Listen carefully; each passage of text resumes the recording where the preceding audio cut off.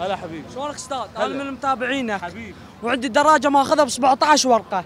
ومقدم من شهر 11 مقدم من شهر 11 مشي معامل ومطي قمرك. على حظي سد القمرك على حظك. أي والله. إيه. شو سووا بهاي الحالة؟ قال يمشونا المعاملة. زين. أي والله. من أخذها الدراجة؟ دراجة ما ماخوذة. ذيك بالبيض ضامها بس ما تقدر تطلع بيها. أي والله. 17 ورقة. 150 رقم بعد دافع كل شيء والله كل شيء بس دافع. كمل الإجراءات. كل شيء مكمل. يعني تطالبون بالترقيم. بس الترقيم.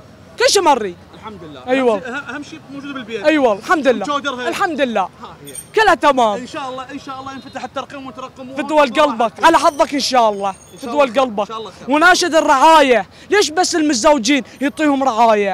إيش تريد؟ أنا هم أريد رعاية هم عطال وبطال. إيش قد عمرك؟ عمري مواليد 2000 راح اطب ال 25 طالب طالب؟ ها؟ طالب؟ طالب بس تارك ليش تركت؟ شيء الظروف بعد؟ هي تحكم. شنو اللي خلاك تترك الدراسة؟ هسه تعيين ماكو. عوفك من التعيين. إي. أنت مواليد 2000 مواليد 2000 شنو اللي خلاك تترك الدراسة؟ ظروف هي هاي بعد ظروف.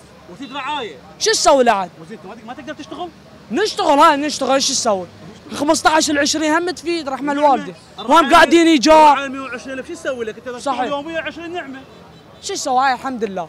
بس أنا اشهد إن شاء الله. أي والله. يا مشكور. الرعايه إحنا 11 نفر. يعود يلا يعطوني 225 كفيتكم؟ لا عم ما يمكن. شو بكيفيتنا هاي. مشكور إن شاء الله. هاي الحمد لله والشكر. الرعاية من حقكم إن شاء الله. إن شاء الله أيوه. رحم الله والديك. جزاك الله خير. هلا. السلام عليكم.